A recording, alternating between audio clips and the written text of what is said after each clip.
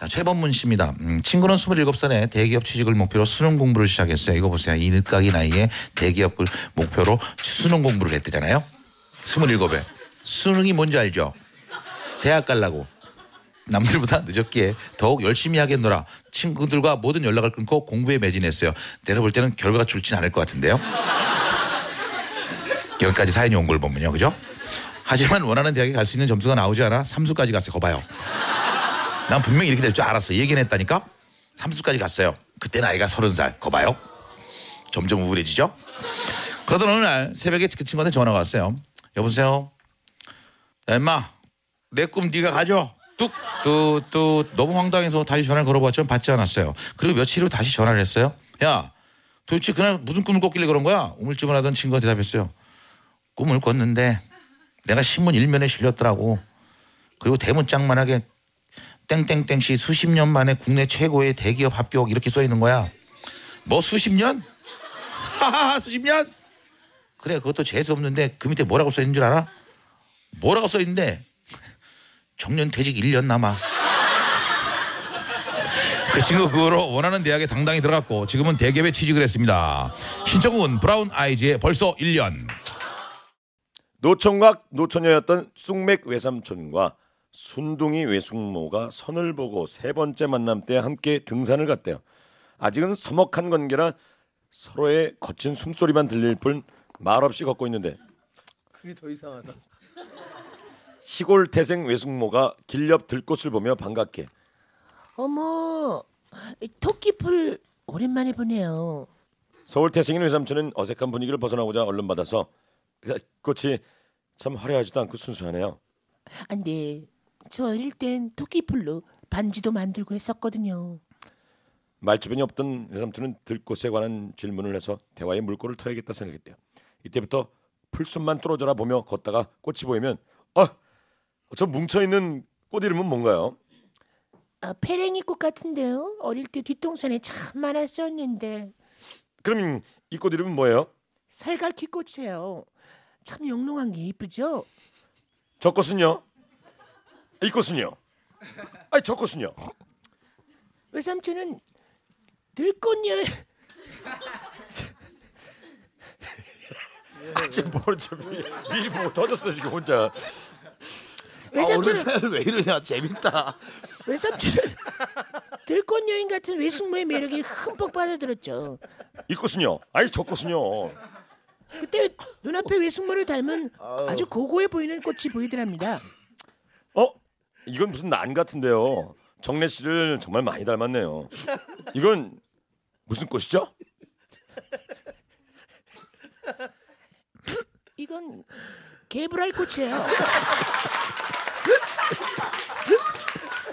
아, 뭐 이딴 꽃이 있냐? 이런 곳이 있나? 야 이게 뭐야? 야뭐 이딴 아, 나 진짜 오늘 진짜 아 재밌네 오늘. 삼촌 삼촌은 외숙모의 대답에 너무 놀라고 예 오줌 오줌 쌀 뻔했대요. 하지만 둘이 신숙해져서 하산할 때 손을 꼭 잡고 잘 내려왔답니다. 아, 진짜 있는 꽃이래요. 김영훈 씨의 사연입니다. 음, 2009년 3월 훈련소 생활할 때 일입니다. 저희 훈련 담당 조교는 목소리가 짜증이 났어요. 하이톤이래요. 하이톤이 찢어질 듯한 그 목소리는 무척 신경이 거슬렸죠. 어느 날 담당 조교에게 총검술 훈련을 받고 있었어요. 지금부터 총검술을 배우도록 하겠다. 시범을 보여줄 테니까. 아니 그렇게 하네 하이톤이래요 이렇게. 집중해서 보도록 해 알았어?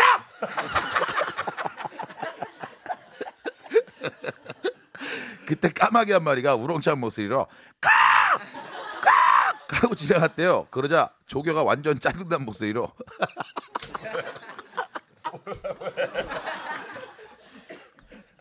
형 맨날 혼자 웃어 이렇게. 나 봤으니까 이거를.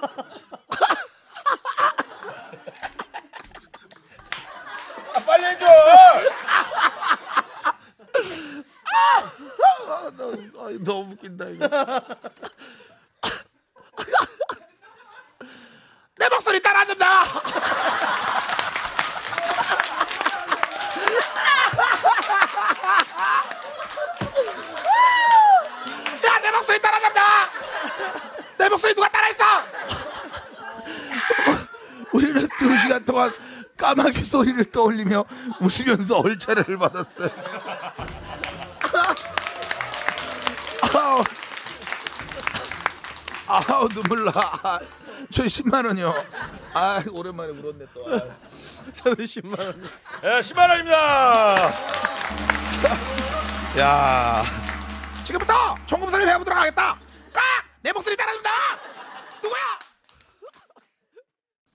홈페이지 디자인이요. 주유소 51건, 추천수 5건. 어느 날 군대에 간 친구 오재한한테서 전화가 왔어요. 야, 나 편지가 한 통도 안 온다. 창피해 죽겠어. 그래서 여자친구 있다고 빵 쳐놨는데 네가 내 여자친구 척하고 꽃편지 좀 보내줘. 오케이, 알았어. 내가 절절하게 널 그리워하는 여친 컨셉으로 한 통 보내줄게. 저는 이쁜 꽃분홍 편지 봉투에 여자 글씨체로 딱 한 줄만 적어서 오재에게 보냈어요. 오빠 나 임신했어요.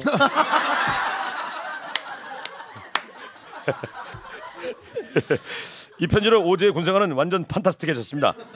오재가 전화로 야 욕을만 한 거예요. 너 때문에 나 지금 임신범으로 완전 찍혔어. 지금 전부 대 선물이 다 나갔고 여기저기 불려다니라 죽겠다 말이야 이 삐리리야. 어떡할 거야 이 삐리리야. 알았어 알았어 화내지 마. 내가 다시 편지 보낼게. 저는 다시 꽃편지를 보냈습니다. 이번에도 딱 한 줄만 넣었어요. 오빠, 근데 오빠 아이 아니야. 야,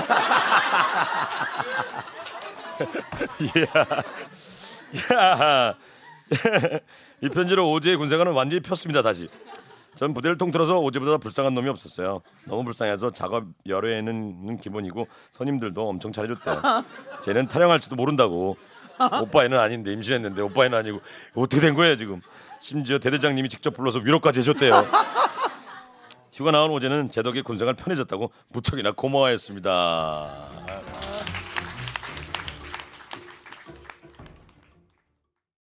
대박실화라는 제목으로 할아버지의 작업 전광수 씨 지난 일요일 오후 조용한 커피숍에 여친과 차 한잔하고 있는데 옆 테이블에 70대 초반으로 추정되거나 60대 중반으로 보이는 젊었을 때 한미모 하셨을 것 같은 할머니 한 분이 잔뜩 치장을 하고 누군가를 기다리고 계셨어요. 딱 봐도 남자를 만나나 보다 싶었죠. 잠시 후 그냥 평범한 복장에 그냥 할아버지, 그냥 동네에 많이 계시는 꾸밈이라고는 전혀 없는 그냥 할아버지가 손에 검은 봉지를 하나 들고 들어오시는데 할머니가 오빠! 10만 원이요. 하면서 반갑게 부르는 거예요. 할머니가 그 할아버지를 상당히 좋아하는 것처럼 보였어요. 순간 돈이 많나 했는데 음료도 할머니가 사주시더라고요. 깨우뚱했지만 부부는 확실히 아닌 것 같았고 할아버지는 말씀이 없고 할머니만 연신 방글방글 웃는 얼굴로 오빠 나가서 뭐 드실래요? 나 오늘 어때? 막 이러면서 여우빙의를 하시더라고요. 그때 무심히 계시는 할아버지가 검은 봉지를 탁자에 올려놓더니 할머니에게 쓱 내밀었어요. 할머니는 무지 좋아하며 어머 이게 뭐야 오빠? 여러분이 그건 여자들 마법에 걸렸을 때 쓰는 날개였어요. 이걸 왜? 순간 얼굴이 붉어진 할머니는 화를 내며 오빠 나 놀리는 거야? 나 폐경한 지 20년이 됐는데 이게 뭐야? 이게 뭐야 오빠? 그러면서 자리를 박차고 나가시려는 찰나 할아버지가 할머니를 뚫어져라 쳐다보며 한마디 날리시는데 정말 대박. 전설의 카사노바 여자를 미치게 하는 남자. 그 한마디에 할머니는 울고불고 장난이 아니었어요. 할아버지가 내, 내뱉은 한마디는 이거였어요. 화내지 마 점순아. 내 눈에 넌 아직 소녀야.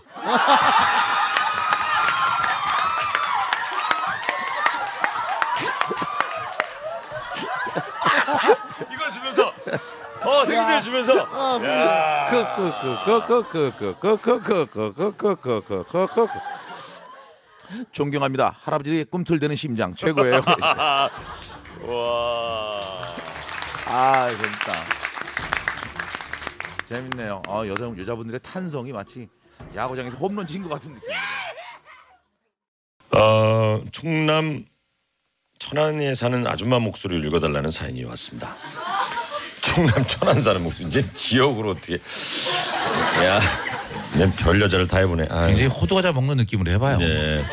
아, 약간 충청도 스타일이겠죠 충남 사람 아줌마 저는 2003년에 방송대 교육과에 편입을 했는데 어느 날 천안 학생이 주최로 능수 축제가 열린다는 거예요. 월클에 등을 떠밀려갖고 노래자랑에 출전을 했는데 어머머 제가 충남 대표로 서울까지 진출하게 된 거예요. 뭔 일이야?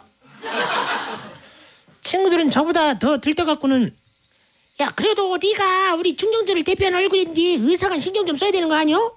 화장빨도 좀 세우고 연예인처럼 하고 가란 말이오. 아유 그냥 평소처럼 하고 가면 안 될까? 아또 뭔 소리야? 눈에 확 뜨게 무대 의상을 입어야지. 그리고 화장은 속눈썹이 포인트요. 최고로 긴 놈으로다가 확 붙여고 가야 되는겨.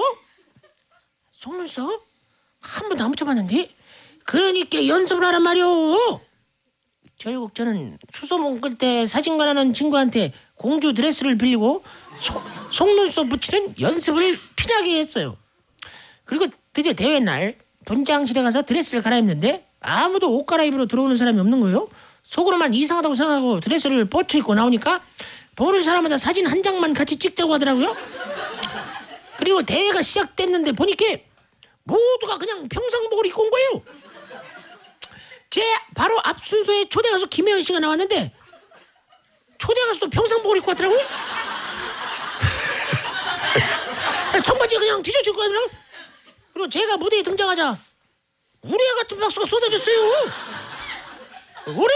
원래 이거 뭐지? 하면서 노래를 불렀는데 알고 보니까 사람들이 다 그냥 제가 초대 가수인 줄 알았대요. 의상만 보고 말이에요. 그날 사회자는 제게 백설공주라는 별명을 붙여줬어요. 저는 금상을 타게 됐죠. 평범한 컴퓨터 강사였던 제 인생에 이런 황홀한 경험을 하게 될 줄 누가 알겠어요. 신청곡은 김자옥의 공주는 외로워. 좋은 경험하셨네. 김건모 씨입니다. 예? 김건모 씨예요. 아, 좀 뜸하시더니 김건모 거기다 씨. 사연을 보내셨네. 어, 제 이름이 자랑스럽습니다. 축하해 주세요. 축하드립니다. 아, 중학교 때 셋이 목욕탕에 갔어요. 친구랑 셋이. 사람이 없길래 신나게 목욕탕을 해집고 다니며 놀았죠. 냉탕에서 수영하고 아저씨 한 분이 저희한테 역정을 내줬어요. 어, 임마! 녀석들, 어떻게 시끄럽게 떠들어, 임마! 어? 아버지 어디 계시냐? 아버지! 저희끼리 왔는데요. 아니, 아니, 아직 어린데 니들끼리 왔어? 저희가 초등학생인 줄 아셨나 봐요. 순간 시선을 저희 아래쪽으로 옮긴 아시는 깜짝 놀래.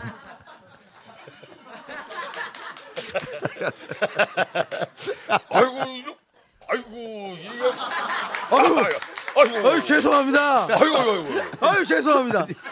이 말이 너무 너무 실수를 돌리더니 아이고 이놈들 중학생이구나.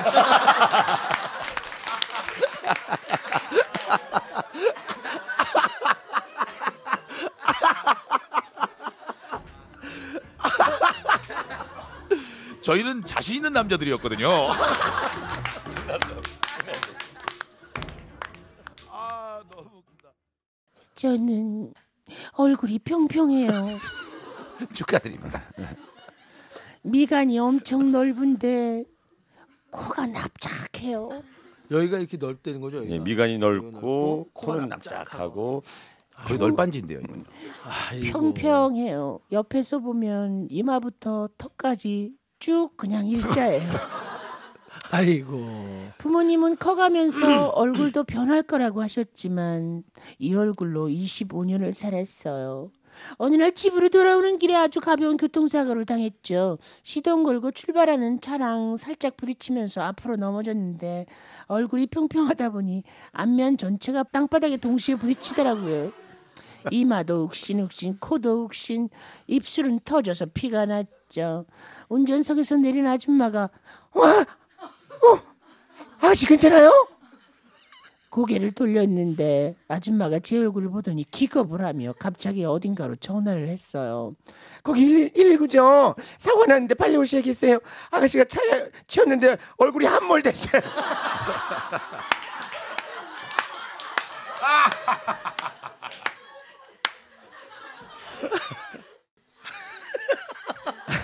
알고 보니 제 얼굴은 함몰형이었던 거예요. 이번 기회에 부모님이 그토록 반대하시는 성형 수술을 할 수도 있을 거란 생각에 전그 자리에서 기절한 척 바닥에 누워버렸죠. 아줌마는 안 되겠다 싶었는지 저를 차에 태우고 직접 병원 응급실로 향했어요. 제가 치료를 받는 사이에 아줌마가 제 핸드폰으로 어머니께 전화를 했고 부모님이 소식을 듣고 병원으로 달려오셨죠. 전 계속 기절한 척하고 있었어요. 아줌마는 부모님께 몸둘 바를 몰라 하며 말씀하셨죠. 어, 정말 죄송해요. 제 부주의로 따님이 많이 다치셨어요. 어, 정말 죄송해요. 그 말에 부모님께서는 저의 상태를 훑어보시더니 예, 이렇게 봐서는 그 어디가 많이 다쳤는지는 모르겠는데요. 모르시겠다고요? 얼굴이 한몰 됐잖아요. 그러자 어머니께서 말씀하셨어요. 제 원래 저렇게 생겼어요. 성형수술이 물 건너가는 순간이었죠. 아줌마는 정말 진심 완전 깜짝 놀라며 원래 모습이라고요? 사실을 알고 놀란 아줌마에게 아버지께서는 이렇게 말씀하셨죠. 제가 보기엔 코가 부어서 그런지 평소보다 예뻐진 것 같은데요. 결국 성형 수술을 못했지만 아버지의 말에서 제 얼굴의 가능성을 발견하고 그날 이후 수시로 코를 확대하는 버릇이 생겼답니다. 아, 아줌마. 김광석 씨의 사연 읽어드리겠습니다. 조에서 18건 춘 상권이고요. 어, 학창 시절 점심 시간에 친구들과 밥을 먹고 있는데 제 짝꿍이 저한테 야 수업 시간에 자도 안 걸리는 방법 가르쳐 줄까? 뭔데? 간단해 손가락을 깍지 낀 상태에서 자연스럽게 팔을 책상에 올려 그런 다음에 이 팔로 몸을 지탱하면서 눈 나쁜데 열심히 칠판을 보고 있는 것처럼 눈 뜨고 자면 돼. 야씨 눈 뜨고 자면 당근 안 걸리지. 근데 어떻게 눈을 뜨고 잠을 자? 말이 안 되는 소리를 해. 됐거든. 내가 좀 이따 보여줄게. 수업 시간 짝꿍 설명대로 자세를 잡기 시작했고 열심히 수업을 듣고 있었어요. 10분이 지나도 20분이라도 잠을 안 자는 거예요. 그래서 왜 안 자냐고 물어보는 찰나 짝꿍 입에서 침이 주르륵 흘러내렸어요. 녀석은 진짜 눈을 뜨고 자고 있었던 거예요. 그런데 이놈이 점심 때 뭘 먹었는지 허연 침을 흘리는데 끊어지지도 않고 예. 바닥까지 닿을 기세였어요. 바로 그때 선생님이 짝꿍을 발견하고 소리쳤습니다. 야! 그 빨대 뭐야 고? 야! 저 빨대 뭐냐 저거? 이 자식아 저 야, 그거 어? 계속 흘러나와야 되는 거 아니야? 겁도 없이 수업 시간에 우유를 처먹어? 뭐 먹고 있는 줄 아는 거죠. 선생님은 친구의 침을 빨대로 착각한 거예요. 그런데 그 소리에 놀라 벌떡 깬 짝꿍이 후루룩 늘어져 있던 침을 안으로 깔끔하게 수거해 가는 순간 선생님이 더더욱 화가 나서 소리쳤어요. 이 자식 걸렸는데 끝까지 먹어? 걸렸는데 끝까지 먹어 우유를 너 나와! 짝꿍은 영문도 모르고 선생님께 왜 그러시냐고 울고불고 선생님은 다 받는데 발뺌이라고 노발대 막 한바탕 난리가 났었어요. 야 이거는 거의 뭐 야, 침이 어땠길래 그러냐? 야 이건 거의 진기명기 수준인데요. 모태솔로 여, 여자 목소리 읽어달라고요. 네 팔자야. 오늘 또 오신 여자분 중에 모태솔로가 계신가요? 네, 차마 손을 못 들겠죠. 자, 익명으로 보내주신 분입니다. 조이스 열여섯 건 모태솔로 여자분은 좀 공감하실 만한 사연인 것 같아요. 전 연애를 한 번도 못 해봤어요. 하도 답답해서 용하다는 점집을 찾아 신년 운세를 보러 갔죠. 사람이 정말 많았고 오래 기다린 끝에 제 차례가 됐어요. 남자 때문에 왔구만. 얼굴만 보고도 제가 온 이유를 맞히시더군요. 잘 들어맞는 경우가 있죠. 어머, 아니 어, 어, 어, 어 떻게 하셨어요? 관상만 봐도 알아. 얼굴이 스님상이야. 네? 스, 스님상이라고요? 아, 저는 성당 다니는데요. 그러자 살짝 말을 바꾸더군요.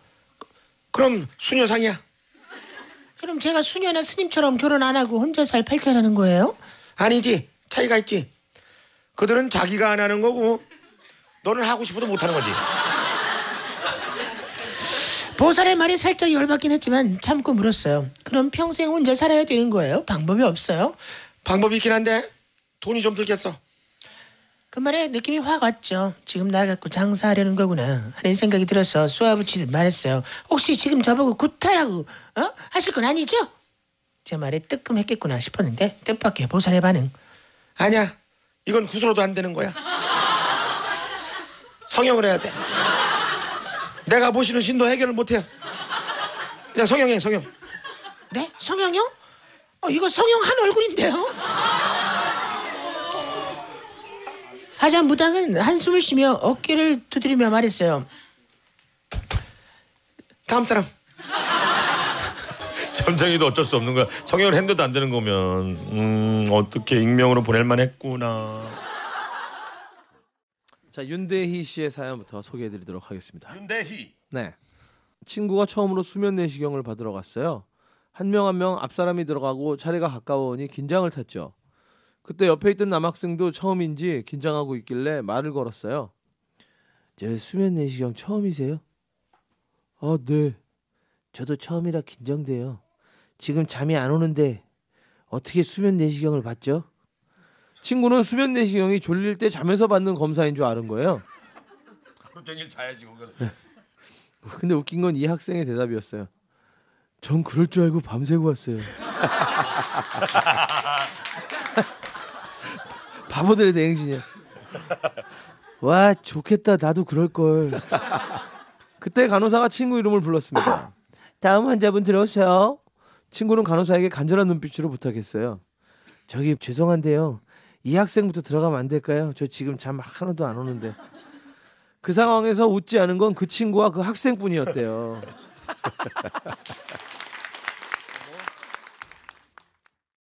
저희 할아버지는 허준 광팬이십니다. 허준에 관한 책은 모조리 구입하시고 드라마 허준을 DVD로 소장하실 정도죠. 한 번은 제가 급체를 했는데 할아버지가 갑자기 한복을 차려입고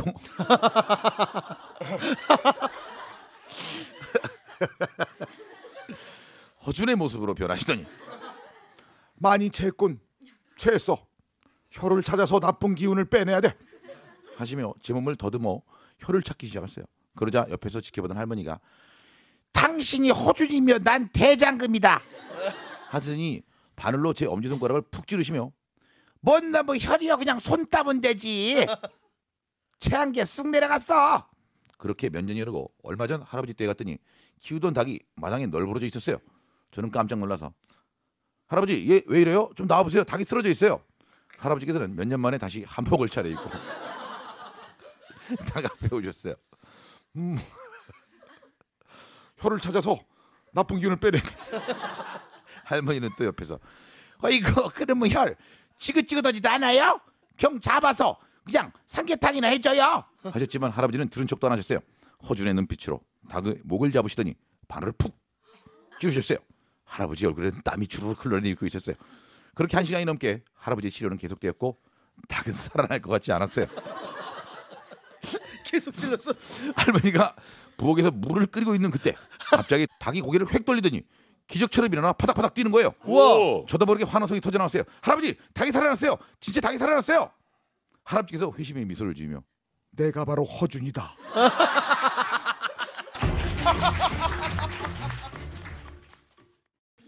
오상환 씨. 공부가 제일 어려웠어요. 저는 어릴 때부터 산만했어요. 축하드립니다. 책상에 10분을 못 앉아 있었어요. 간혹 10분을 넘겼다 싶으면 바로 고개 쳐박고 잠이 들었죠. 고등학교 1학년 때 이대로는 안 되겠다 싶어서 몸을 의자에 묶고 이제- 이제 묶고 공부를 하기로 했어요. 시험 기간을 앞두고 전 동생한테 빨간 노끈을 주면서 오른손만 빼고 다리부터 가슴까지 의자에 미라처럼 묶어. 만약 이 끈이 풀리면 네 방으로 갈 거고 내가 널 똑같이 묶어 놓을 테니까 알아서 묶어. 우와. 제 옆박의 동생은 진짜로 저를 꽁꽁 묶었어요. 그 상태로 공부를 시작했죠. 그런데 눈을 떠보니 제가 바닥에 옆으로 누워 있었어요. 의자에 묶인 채로 왼쪽 팔이 뒤로 꺾인 채 졸다가 통째로 넘어진 거죠. 팔이 너무 아픈데 꼼짝할 수가 없었어요. 부모님은 산에 가시고 동중은 절 묶어놓고 나가버렸는지 아무리 소리쳐도 대답이 없었어요. 이러다 팔을 못 쓰게 되는 건 아닐까 불안해진 저는 그때부터 방바닥에 입을 대고 소리쳤어요. 울면서 도와주세요! 사람이 죽어가요! 여기요! 안 들려요? 저 좀 살려주세요! 점점 지쳐가고 있을 때 아랫집에서 누가 올라왔는지 초인종 소리가 들렸어요. 하지만 쉬어버린 목소리는 나오지 않고 쇠소리만 나왔어요. 여기 사람 있어. 결국 아랫집 아저씨 신고로 경찰이 현관문을 부수고 출동을 했고 꽁꽁 묶여 쓰러진 저를 발견하고 아니 학생 누가 이랬어? 혹시 강도나 도둑이 들었나? 누가 묶어놓은 거야? 저는 아무 대답도 할 수가 없었어요. 말해봐 학생 도대체 왜 이렇게 된 거야? 전 마지막 한마디를 남기고 장렬히 쓰러졌습니다. 공부가 하고 싶었습니다.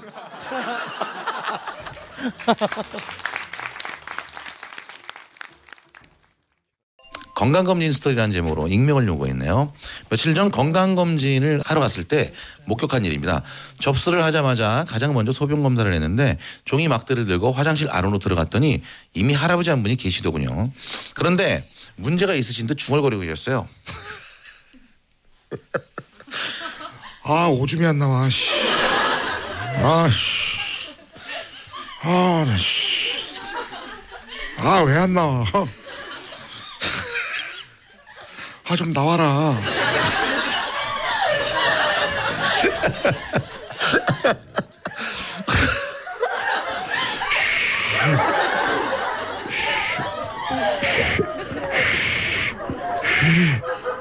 아씨 안 나와. 아 오줌.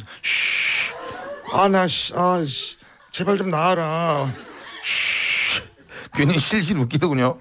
제가 옆에 서서 소변을 보니까 힐끔 보이더니 아 부럽다. 아난 안 나와. 난 왜? 아 제발 쉬, 쉬 제발 좀 나와라.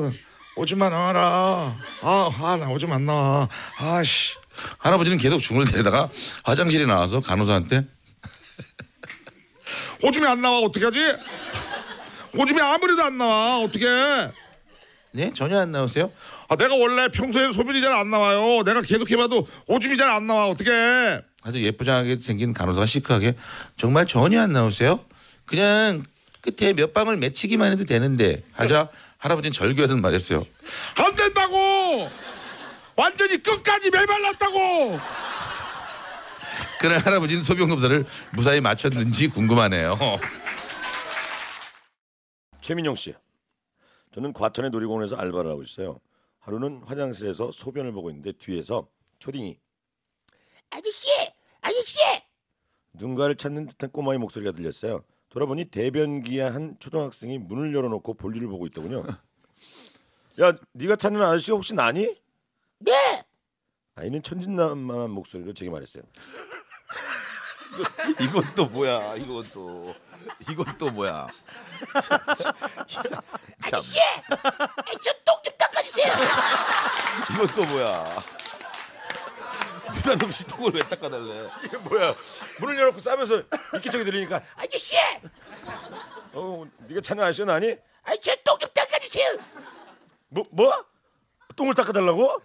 너 몇 학년이니? 초등학교 2학년이요. 한숨이 났지만 침착하게 말했어요. 야 아홉 살이면 혼자 할 수 있어. 휴지 줄 테니까 네가 한번 혼자 닦아봐. 어? 그러자 그 아이 울먹울먹하는 목소리로 똥꼬가 어디 있는지 모르겠어요. 저 놀이공원에서 남의 집에 똥 닦아준 남자예요.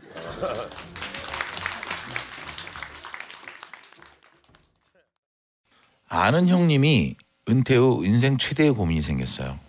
사는 낙도 없고 인생이 재미없다. 그때 아는 지인이 말해주길 통영 벽방산에 유명한 도인이 있는데 한번 만나러 가보라고 했어요. 형님은 혹해서 벽방산에 올랐어요. 그리고 듣던 대로 산 중턱에 한 도인을 보게 되었습니다. 범상, 범상치 않은 복장의 도인은 바위 위에 가부좌를 튼 채로 눈을 감고 있었어요. 형님은 그 포스에 속으로 감탄했죠. 그래, 저분이라면 내 고민에 답을 해줄 수 있을 것 같아. 크게 감탄한 형님은 도인의 명상에 방해될까봐 조심스러운 몸가짐으로 도인에게 다가갔어요. 그때 눈을 감고 있던 도인이 범상치 않은 호흡을 내셨습니다. 그리고 묵직한 한마디. 음, 아, 음, 어. 심심해.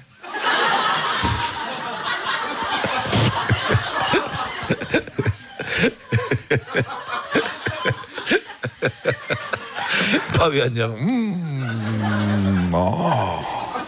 심심해.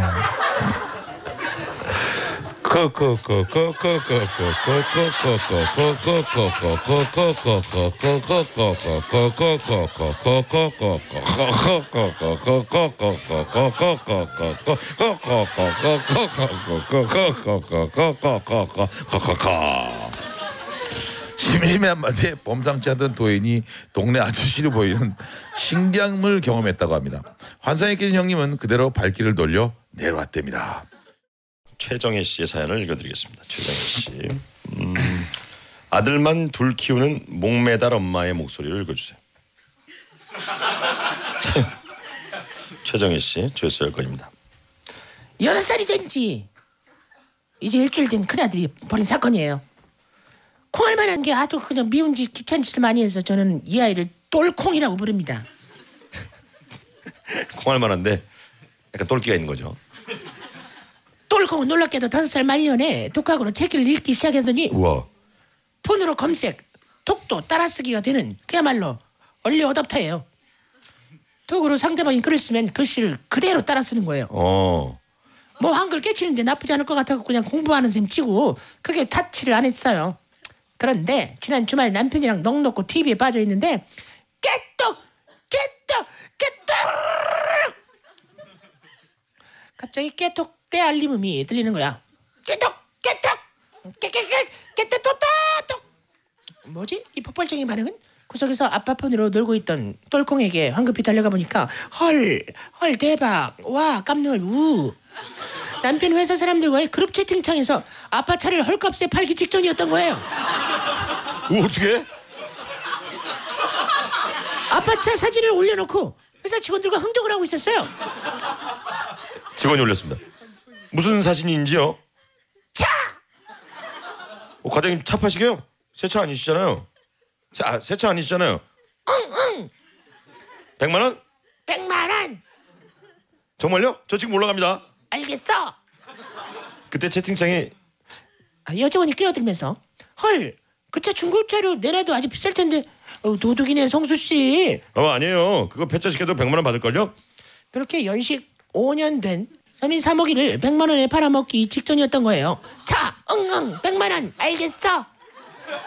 이 네 마디로 깔끔하게 거리가 성사되는 게 신기하더라고요. 아들 덕에 남편은 야밤에 뒷수습하느라 진땀을 빼야 했습니다. 이것 말고도 여러 건 해먹으신 아들. 회사 해외 법인 법인장님한테 옹길동 법인장님! 하고 불러서 현지 시간 꼭두 새벽에 무슨 큰일 난 줄 알고 다급하게 깨톡창에서 애타게 신랑을 이름을 부르게 만들고 친구 부인에게는 사랑해 you. 굿나 good night 이모티콘 폭탄을 날려놔갖고 난감한 적도 있었어요 말대꾸 미운 짓 절정이 던 다섯 살 말년을 지나온 지 이제 겨우 일주일 좀 나아지려나 했던 여섯 살은 정초부터 스케일이 다르네요 우리 집 똘콩 하는 말이 더 가관이에요 그게 아니고 아빠 친구들이랑 그냥 얘기 중이었다니까 신청곡은 2PM의 네가 밉다. 익명을 요구했습니다. 낚시터에서 낚시를 하다가 그럼 낚시터에 낚시하지 뭐합니까? 급동이 마려워서 이동식 화장실을 써봤어요. 역시 오늘도 똥 얘기가 빠지잖아요. 생각외로 깔끔했어요. 일을 다 끝냈을 때 친구한테 전화가 왔습니다. 어, 나 지금 나 낚시터 갔지. 어, 알았어. 알았어. 이따 전화할게. 전화를 끊고 앞에 달린 휴지로 뒤처리를 하고 자연스럽게 휴대폰을 변기 안에 던졌어요. 휴지로 뒤처리를 하고 어, 와!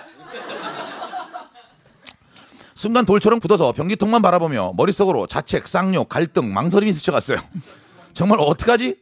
반쯤 묻혀 있는 상황이었어요. 어떡하지? 그때 노크 소리가 들렸어요. 그 안에 누구 있습니까? 예, 이- 있는데요. 아직 멀었습니까? 저 정말 급해. 어. 어. 그런데 급해갖고 어. 아, 그 그게 이- 이- 일은 끝냈는데요. 제 말이 끝나기가 무섭게 문이 미친 듯이 흔들렸어요. 끝났으면 끝났으면 얼- 얼른 얼른 어 쩔 수 없이 문을 열긴 열었는데 폰을 두고 나갈 수가 없었어요. 뭐 뭐 뭐 뭐, 뭐, 요 아, 제가 휴대폰을 떨어뜨려서 어떡하죠? 뭐로 제 빨랑 죽어. 어. 어. 어서 어서 죽어요. 어. 그게 죽긴 죽어야 되는데 저걸 어떻게 죽어야 될지 아 시끄러 그냥 나 그냥 쌀게. 안 돼요. 그럼 안 되죠. 아이씨 어차피 저렇게 된 바닥에 똥이 하나나 두 개나 큰 상관은 없어요. 아니 무, 묻히는 거랑 덮이는 거랑 차이가 다르죠. 옥신각신하는데 그때 낚시터 관리소에서 한 할아버지가 느긋하게 걸어오셨어요. 나 지금 죽겠다고 어차피 똥이 하나든 두 개든 상관없잖아. 아니 제 똥은 내도 아저씨 똥은 안 되죠. 왜 임마 내 똥이 어때서? 네 똥이나 내 똥이나 그 순간 도착한 할아버지가 낮고 조용한 목소리를 말했습니다. 말했습니다. 나 똥 맞아요. 여봐요 나똥 마려요 할아버지 제가 먼저 왔습니다 그리고 지금 이 답답한 청년 때문에 제가 똥을 못 싸고 있어요 그 순간 다가온 할아버지의 손이 망설임 없이 변기 속으로 들어가 제 핸드폰을 잡아서 빼고 뒤로 던져버렸어요. 어 내 핸드폰! 어? 할아버지는 그대로 저를 내보며 화장실 문을 닫아버렸어요. 할아버지 제가 먼저 왔는데 예! 그러자 얼른 문을 닫으면서 할아버지 난 생각할 힘이 없어요. 간절한 놈이 먼저 싸는 겁니다. 아저씨도 할아버지 말씀에 동의하시는지 더는 말이 없었어요. 저는 다행히도 핸드폰을 멀쩡하게 잘 사용하고 있습니다. 정말 급했으니까 자연스럽게 손이 가는 거죠. 그럼요. 너무 급하니까. 저승길로 가는 후룸라이드라는 제목으로 X 성미라고 성을 밝히지 않으셨어요. 아는 언니랑 놀이공원에 갔어요. 언니랑은 모 케이블 방송 다이어트 워에서 알게 된 사이예요. 살이 많이 찌셨구만. 다이어트 워에 나간 거 보니까. 감이 오시겠지만 저희는 한무게 합니다. 언님 몸무게 110kg. 예, 저도 110 찍었다가 지금은 다이어트 성공해서 88kg.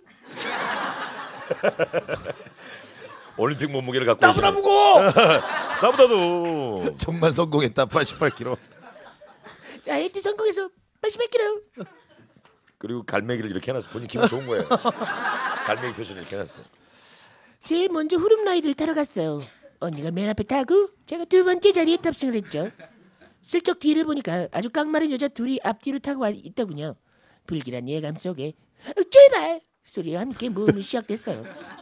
언니가 신나서 해맑게 야! 하고 손을 번쩍 들어올리자 갑자기 배가 오른쪽으로 반 이상 잠기면서 배가 배가 전복할 위기에 처한 거예요. 전 당황해서 아니 아니 왼쪽 왼쪽으로 몸을 기울여 라고 외쳤고 언니가 어, 어? 어? 왜? 이러면서 왼쪽으로 몸을 살짝 돌리자 다시 배가 안정을 찾았어요. 곧이어 덜덜덜덜 둔탁한 소리와 함께 배가 올라가기 시작했고 배가 맨 꼭대기에 멈춘 순간 전 보았습니다. 배 뒤쪽이 살짝 들려 있는 걸요.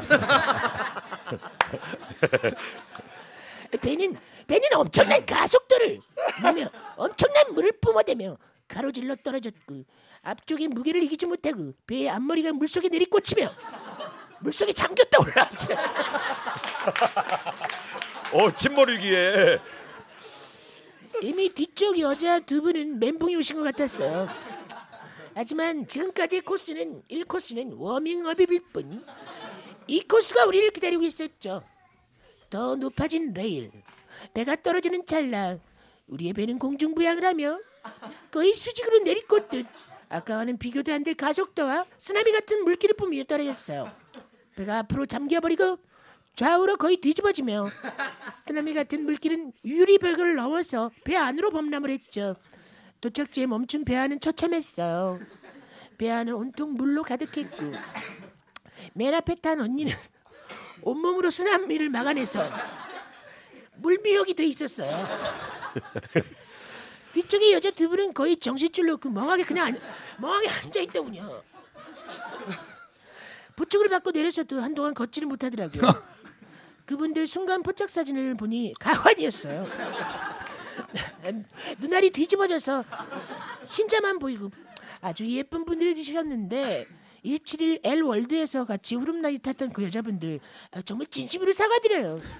우리 앞으로는 한 배 타지 말아요.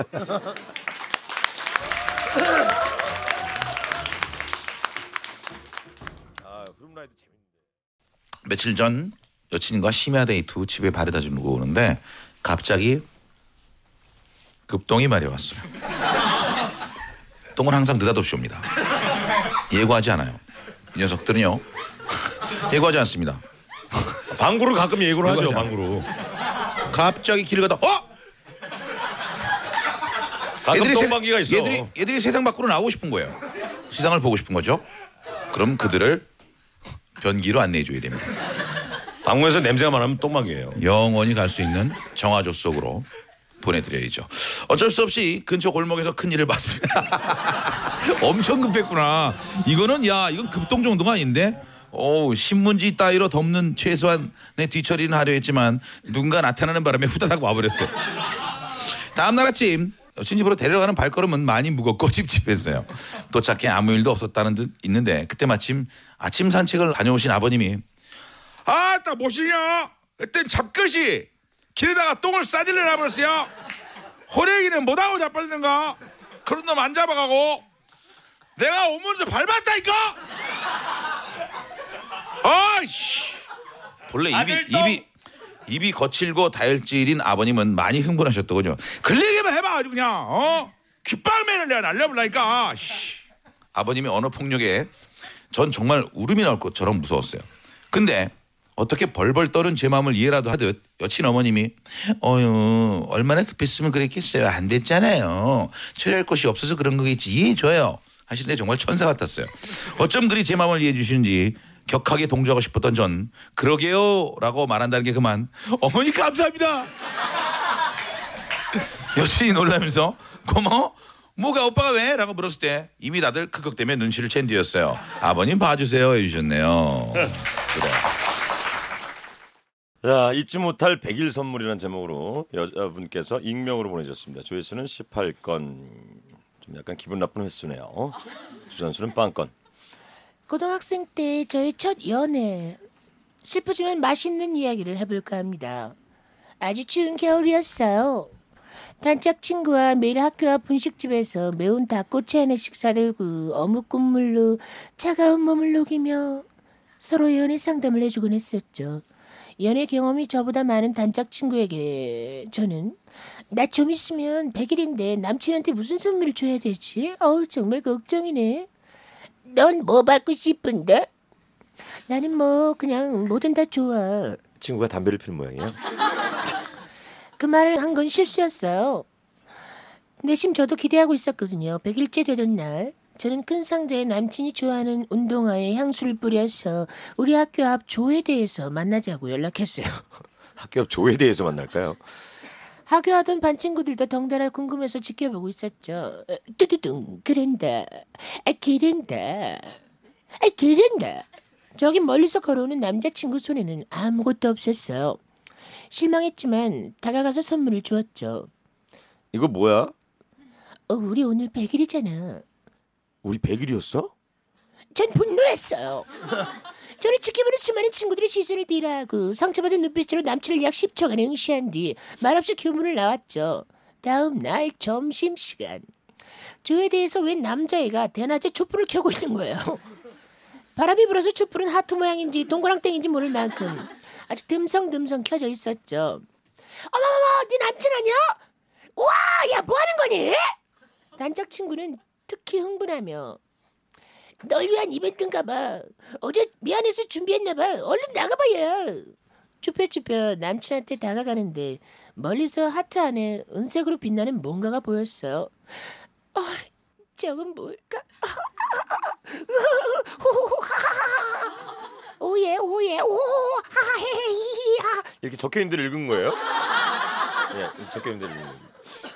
겨울에 내리는 눈꽃송이처럼 그 은색 물체는 반짝이며 저에게 다가와 어서 와 말을 거는 것 같았어요. 하지만 남친한테는 일부러 퉁명스럽게 뭐야 왜 이제 와서 왜, 왜 이래 정말 널 위해 준비했어. 반짝이는 은색 물체 남자친구가 수줍게 저에게 선물이라며 건넨 그것은 은박지에 쌓인 닭꼬치였어요.